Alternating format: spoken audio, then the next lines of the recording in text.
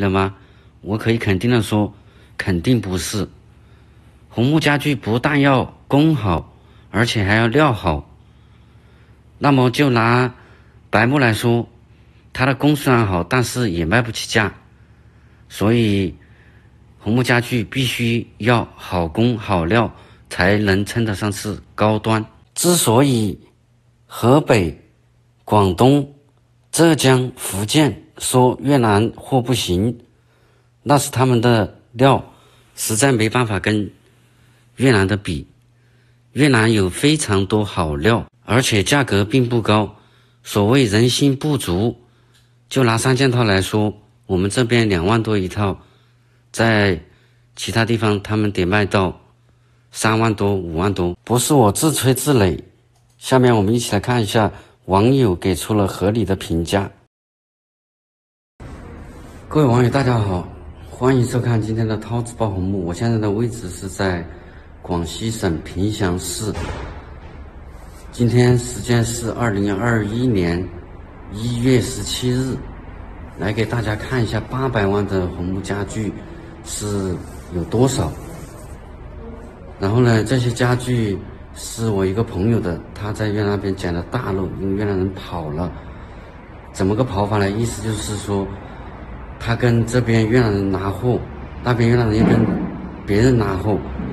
越南人在越南人那里拿货以后，我们这边把钱给了，然后他没有给越南人的钱，所以咱们也属于是个捡漏。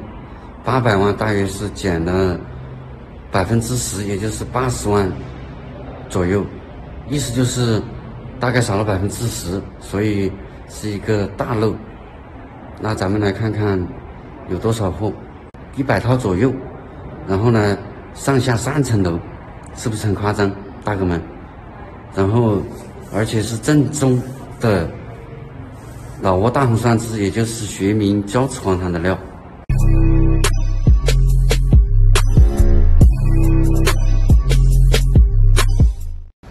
里面我就没开灯了，现在咱们一样样来看，博古架有大约十对，然后三件套，官帽椅、圈椅。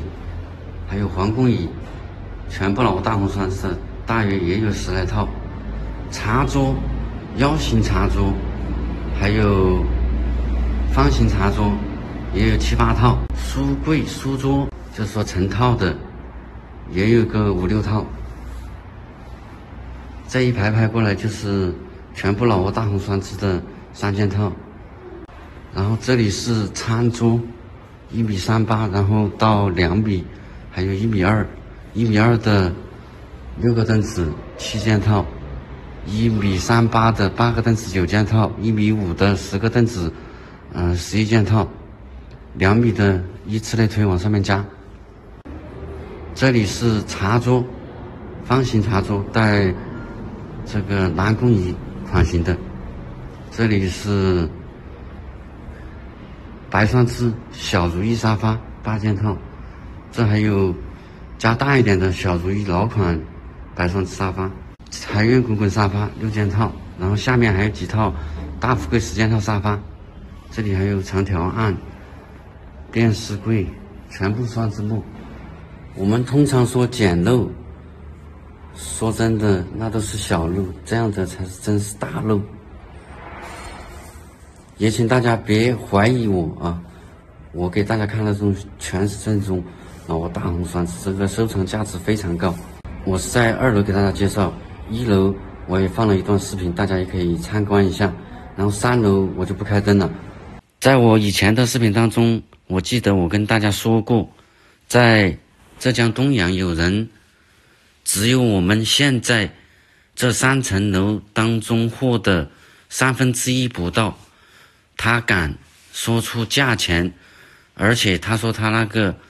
几乎上亿的红木家具，老挝大红酸枝的，那跟我们这个比起来，他那个是不是在说假话呢？正所谓无奸不商，那么真实性就留给网友自己判断。嗯，那今天这期视频就到这里，天不会不蓝，我不会不在，咱们下期再见，拜拜。